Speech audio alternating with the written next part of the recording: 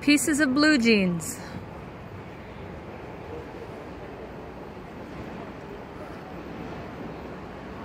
They combine to make a face.